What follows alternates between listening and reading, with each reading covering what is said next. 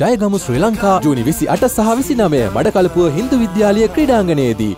සරත් ෆොන්සේක මහත්මයා කොහොමත් බයක් වෙන්න විදියක් නැහැ. එතුමා පක්ෂයෙන් නැතුව ඉල්ලද්දි මං හිතන්නේ ඔය කැමැති වර්ණයේ ඡන්ද 5000ක්වත් එතුමා ගත්තේ නැහැ. ඉතින් පක්ෂේ ඡන්ද වලින් මනාප ගහ ගන්න එක එක වෙනක්. ඡන්ද ගන්න එක තව ඉතින් අපිට කිසි ප්‍රශ්නයක් නැහැ. එතුමාට මම හිතන්නේ හිටපු එකතැනකවත් හරියට ඉන්න බැරුණානේ. මම නම් කියන්නේ එතුමාට එක ඡන්දයක්වත් දාගෙන යන්න බැරි විත්තිය මෙයා කරනවා. එතුමා යන නිසා එක්කහුව වෙන ඡන්ද ප්‍රමාණය ඊට වැඩි. මම හිතන්නේ පක්ෂයක තුල ඉඳලා පක්ෂ විවේචන කරනවට වැඩිය හොඳ මහත්මා ගුණයක් නේද? කැමති නම් පක්ෂයේ ඉඳලා පක්ෂය ආරක්ෂා කරන එක. එතන පක්ෂය එළියට ගිහිල්ලා මං විසින්ම පක්ෂ විවේචනය කිරීම මේක නේද මහත්මා ගුණය. පක්ෂයක සරත් ෆොන්සේක මහත්මයා නෙවෙයි ඕන එක්කෙනෙක් විනය විරෝධී වැඩ කරනවා නම් එයා සම්බන්ධ විනය ක්‍රියාමාර්ග පක්ෂයක් ගන්නවා. ඒක එතුමාට විතරක් සීමා වෙන්නේ නැහැ.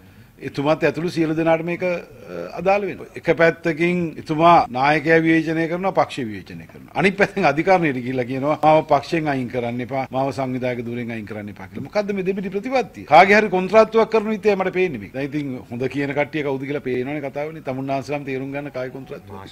වෙලාවල් දුන්නේ. ආ ඉතින් මොකද විරුද්ධ පාර්ශවයේ නැතිනම් ආණ්ඩු පාර්ශවයෙන් ඉපයි.